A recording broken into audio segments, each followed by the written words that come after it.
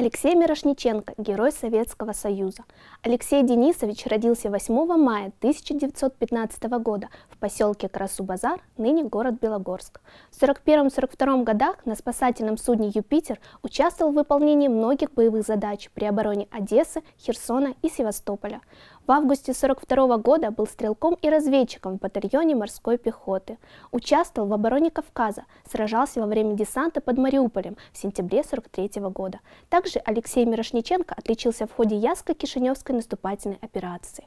24 августа 1944 года с группой разведчиков он форсировал Дунай в районе города Вилково Одесской области.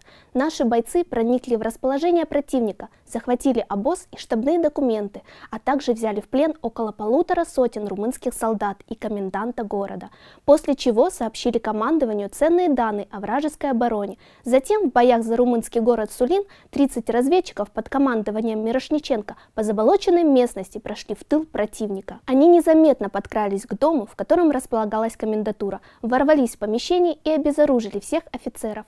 Румынского коменданта Мирошниченко заставил отдать подчиненным приказ о прекращении огня. В результате исключительной храбрости разведчиков-моряков наши войска заняли город почти без потерь.